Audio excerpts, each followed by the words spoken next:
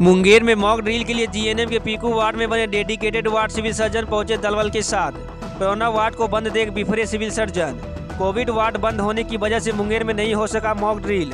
तो वहीं oxygen plant भी नहीं दे पा रहा था सही, प्योरिटी वाला ऑक्सीजन। दरअसल मुंगेर में कोरोना से बचाव के लिए की जा रही तैयारियों का मॉक ड्रिल करने के लिए civil surgeon doctor P M Sahay के द्वारा मंगलवार की दोपहर पूर्व सराय स्थित जीएनएम स्कूल पहुँच पीकू वार्ड में बने डेडिकेटेड कोविड केयर अस्पताल का जायजा लिया। वहाँ पीकू वार्ड में बने 20 बेड वाले डेडिकेटेड कोविड केयर वार्ड को बंद देकर अस्पताल प्रबंधक को जमकर फटकार लगाई। साथ में निर्देश दिया कि शाम तक वार्ड को खुलवा कर सभी व्यवस्थाओं को अपडेट करें। शाम में फिर से आकर वार्ड का जायजा लेंगे। 350 एमपी क्षमता वाले ऑक्सीजन प्लांट का जायजा लिया। जो ऑक्सीजन की प्योरिटी में निर्धारित मात्रा से कम पाया गया। वहाँ काम कर रहे टेक्नीशियन ने बताया कि इसकी प्योरिटी 90 से पंचानवे पर रहनी चाहिए, जबकि मीटर छप्पन से 60 तक शो कर रहा था। इस पर सिविल सर्जन ने आईटीसी के मैनेजर से संपर्क कर प्योरिटी को सही करने का निर्देश दिया गया।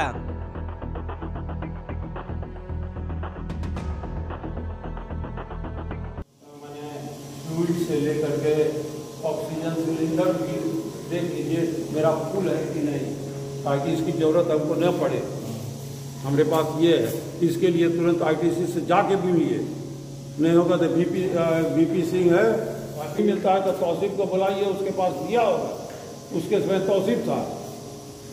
और जहाँ तक फंड की सवाल चल चलो तो फिर दिखा दो